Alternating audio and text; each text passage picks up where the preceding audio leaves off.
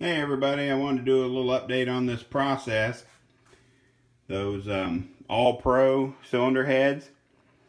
I will uh, recap how you set them up before you CC them.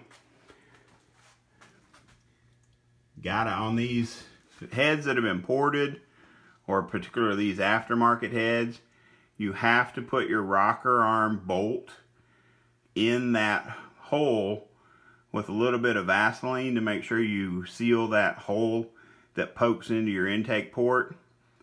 Um, that happens both when you're porting a set of heads to a, be a 215 or bigger port and apparently on these aftermarket as cast heads that rocker arm bolt hole protrudes into your intake runner.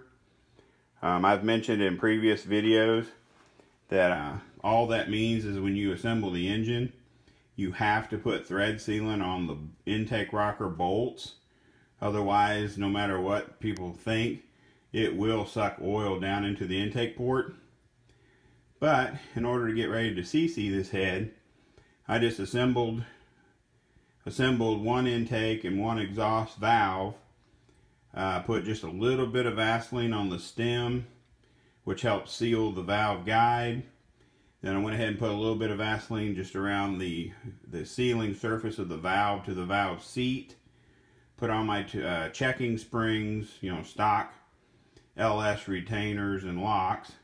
Put my bolt in my intake rocker bolt hole. Um, these are those 202-157 valves. I don't know if you guys can see back here. But it's got it there actually slightly bigger than advertised. Um, this intake runner, now keep in mind, it's a habit of mine when I'm checking a cylinder head.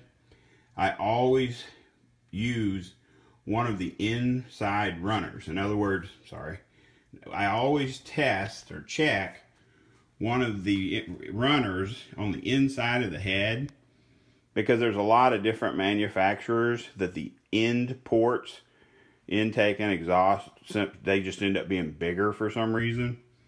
So I don't want to skew the results by checking the in ports per se. So I wanted everybody to know this All Pro, uh, supposed to be 215 cc runner, actually came out to 217.5 cc. So it's well within, you know, what the average or production uh, tolerances should be. I mean, if someone advertises a 215 cc head, I would hope that it's going to be at least 215 cc because you want to make sure and get a good bang for your buck. So anyway, I'm going to go ahead and move on and get my uh, CCing stuff set up for my exhaust port. But I wanted to do a quick update on the intake port of these All Pro 215cc heads that came out at 217.5. I appreciate you guys watching.